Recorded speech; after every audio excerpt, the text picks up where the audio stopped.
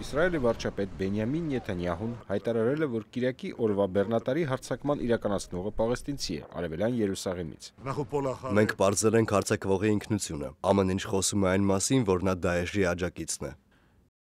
Նետանյահուն հայտարարել է, որ իշխանությունները կապ են գտել Երուսաղեմի հարձակման եւ անցած տարի Գերմանիայում եւ Ֆրանսիայում տեղի ունեցած նման ահաբեկչական ակտերի միջև, սակայն չի տրամադրել որևէ մանրամասնություն։ Նա հայտարարել է, որ անվտանգության մարմինները նոր հարձակումներ կանխող միջոցառումներ են իրականացրել եւ փակել արևելյան Երուսաղեմին կից շրջաններ, ուր բնակվում էր Բեռնատարի հարձակման կասկածյալ։ Երուսաղեմում Բեռնատարը վրաերթի է ենթարկել Իսրայելի բանակի մի խումբ զինծառայողների, ովքեր կանգնած էին շրջագայություն իրականացնող ավտոբուսի մոտ։ Հարձակման հետևանքով 4 մարդ է զոհվել զոհվել, առնվազն 15-ը վիրավորվել։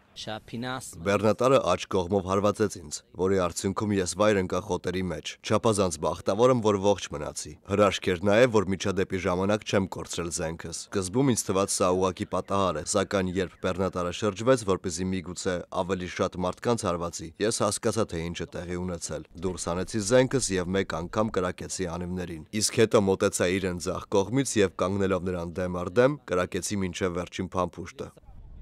Դաեշը չի արձագանքել Երուսաղեմի այս միջադեպին, սակայն պաղեստինյան ծայրահեղական Համաս խմբավորման խոսնակը ողջունել է հարձակումը։